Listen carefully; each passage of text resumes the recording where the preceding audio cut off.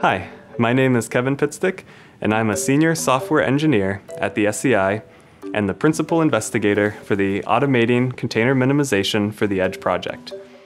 Over the last few years, software development in the DoD and industry has increasingly used container technologies, such as Docker and Kubernetes, to package applications for deployment. However, container images often hold unused or duplicate files because they are standalone, leading to storage waste. Such storage waste prevents organizations from fielding new capabilities on devices that personnel use in edge environments. Because edge devices need to be lightweight, they are often limited in terms of storage and bandwidth, so using storage optimally is crucial for supporting personnel working at the edge.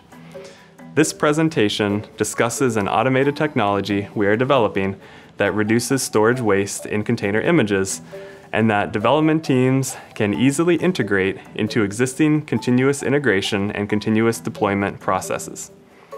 In particular, I will discuss file deduplication, which represents a key phase of our minimization pipeline. Deduplication is the process of combining shared files from multiple images into common container layers. This process results in container images that use less storage on edge devices and less bandwidth to transfer over networks. By using this minimization technology, organizations operating at the edge can field more capability at faster deployment speeds.